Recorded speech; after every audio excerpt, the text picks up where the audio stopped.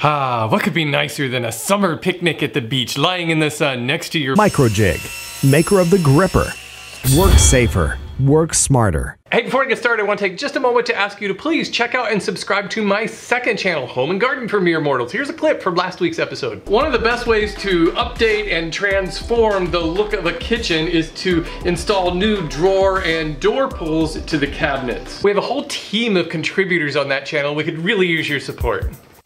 Back in 2013, Ryan Borger sent me a picture of a picnic tray that he had made and I liked it so much I put it on my to-do list.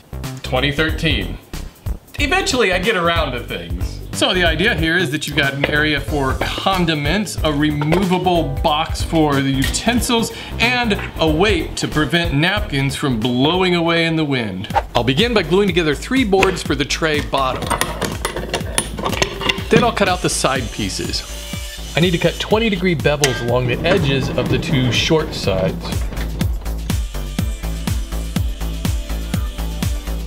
Now with the blade straight up and down again, I can angle my miter gauge to 20 degrees to create the angle for the front and back sides. I can cut out the curved shape on both of these pieces at the same time by sticking them together with carpet tape. I'll tape these three pieces together to make the cutting template for the front and back, and attach it with spray adhesive.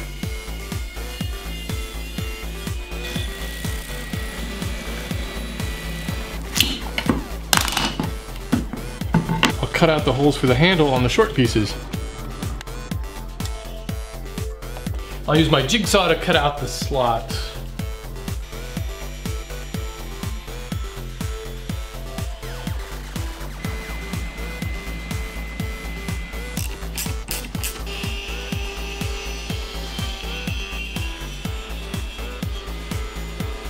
I also want to round over the top edges of the sides, but that raises some issues. Using the round over bit in my router table, I won't be able to run it along the face of the board because of this dip.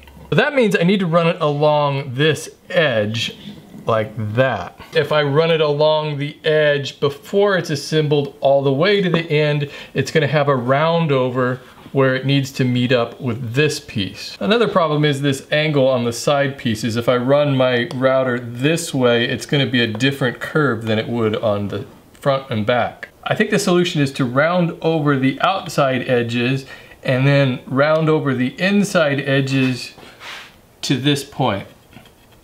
Then what I can do is just round this last little bit over to where it meets up with this round over with a file or sandpaper or something.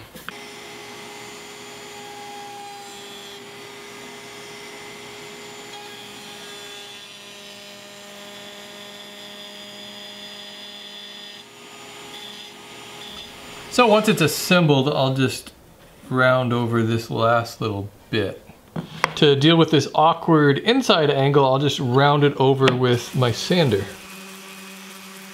So that round over pretty much matches this round over and again, all I need to do is touch up this little area right here. Now I can glue these sides together. I'm forcing this glue down into this end grain. That'll help join them together.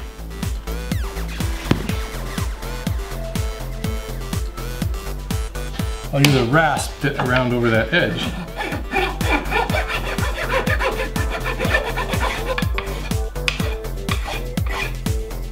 Now returning to my base, I'll bevel the two ends at 20 degrees. How short you decide to make this piece determines how far down it's gonna set into the tray. I think leaving a little bit of a lip around the bottom makes it look a little bit nicer rather than putting it flush against the bottom. I'll glue this on the ends only. Probably doesn't really need any clamping, but I'll put some weight on it. Well, that turned out pretty nice. I'm going to reinforce these joints with dowel pins.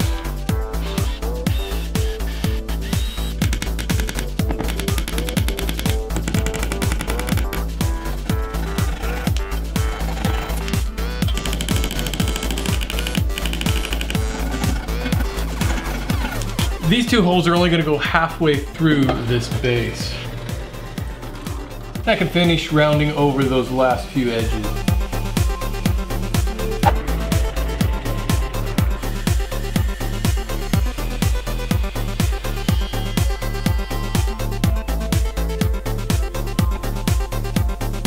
Nothing fancy here on this utensil box, just a simple glue up.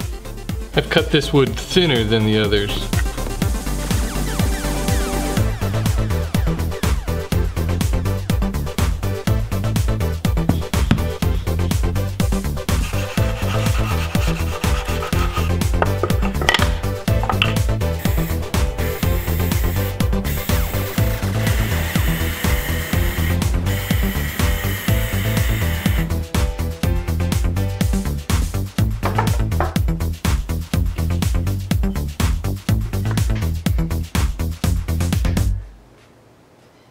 This week on The Savvy Shoppers, we'll help you choose between a Casper mattress and Pokemon Go. Two nights ago, I launched Pokemon Go on my phone and slept on it all night on the cold, hard, sawdust-ridden concrete floor of my shop. I just couldn't wait for that nightmare to Pokestop. Last night, in my bedroom, I slept on my award-winning, excessively engineered Casper mattress, which combines springy latex and supportive memory foams to create an award-winning sleep surface with just the right amount of sink and just the right amount of bounce. Sorry, Pokemon, I think I'd rather Pikachu's Casper for comfort. Sure, Pokemon Go is free, but you know what else is free? A handful of dirt. And you know what else? It's called dirt for a reason. It's dirty and may even have worms in it.